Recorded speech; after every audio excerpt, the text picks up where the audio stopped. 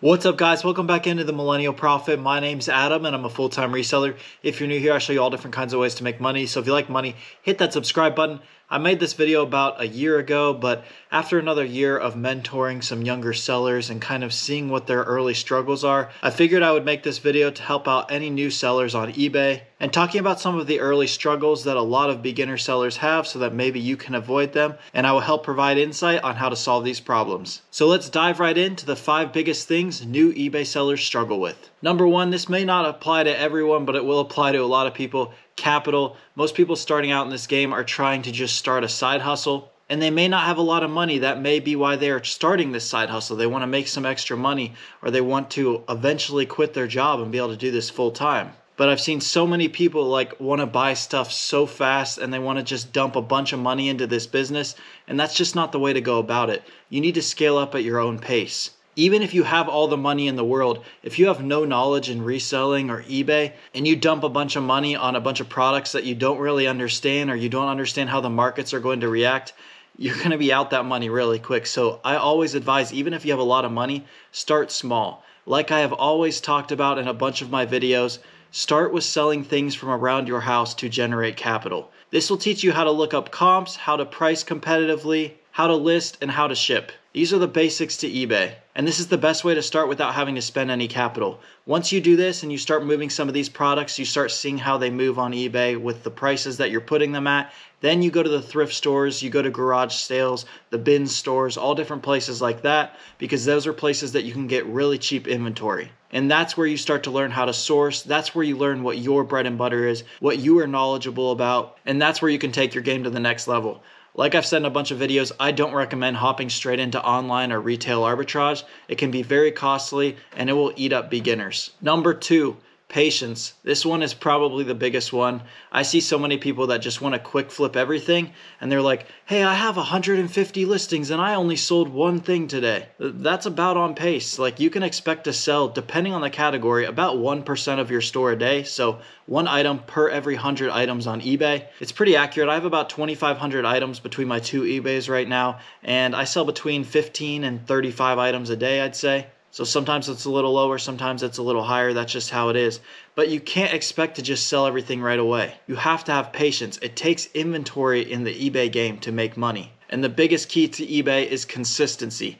Listing every single day, pulling down those old stale listings and selling similar on them to count as a new listing, as well as push that back up the algorithm and checking your price on it at the same time to make sure that it is still competitively priced. That's one that wasn't going to be in here, but we're going to add it in now because it just came to my mind. So we're going to have six in this. But number three, pricing competitively. This is something I see trip up a lot of new resellers. Some of them just go off of that little trending rate eBay shows you in your buy it now listing. That's not accurate at all. The best way to find prices is to go to the current market, see what everything's currently listed at. That's your current competition, so you do need to know that. Then go to the sold listings and check what those are.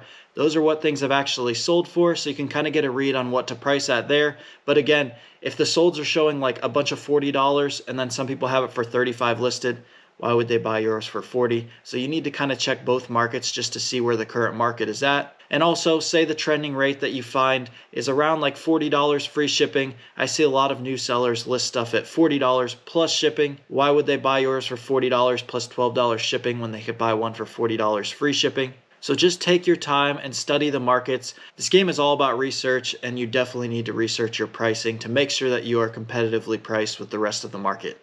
Number four, good inventory. Like I always say, you need inventory to make sales, but I see a lot of new resellers really struggle with this and stack up a bunch of bad inventory just to have inventory. If you don't have good inventory, it's not going to sell. If you have a thousand listings, but it's bad inventory that has really slow sell through and nobody wants, that doesn't mean you're going to sell 10 items a day. Don't stack up bad inventory. Make sure you are stacking up inventory that you see has a sales history that you know will sell eventually. Some things may take a year or two to sell, but that's just the game. You need inventory, but don't get bad inventory. Make sure that the inventory you are buying will sell. And a common question I get is how do I know this item will sell?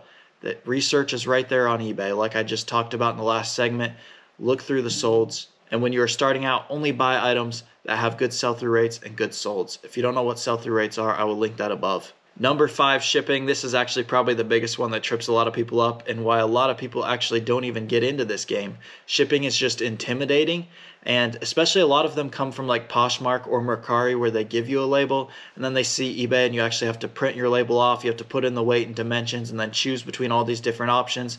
It's really not that big of deal. Do not let this deter you from selling on eBay. It's a super simple process. And the best way to do it is to estimate your shipping costs before you actually sell. And you can do this by using the eBay shipping calculator. One big mistake I see a lot of people do is when they list it, it says you're going to pay this and it'll say like 35 to like $55 that's actually what the buyer is going to pay not the seller. So don't think that's how much it's actually going to cost you to ship it. The best way to check your rates are by using the ebay shipping calculator which i will link down below as well if you want to use that. It's free to use. It's a great tool and i always just put in my worst case scenario zip code. So in ohio i'll put in a california zip code and that's the most something could possibly cost to ship if you need a full tutorial on shipping, I'd love to give it in this video, but I have like a 16 minute video. I'll link that up above where I go through all the basics on how to ship on eBay. Everything you need to know about that. I've got an updated one of that coming because the rates have changed a little bit and they took away regional rate box A and box B, but it gives you a good idea on how to ship on eBay and how to decide between all of the rates.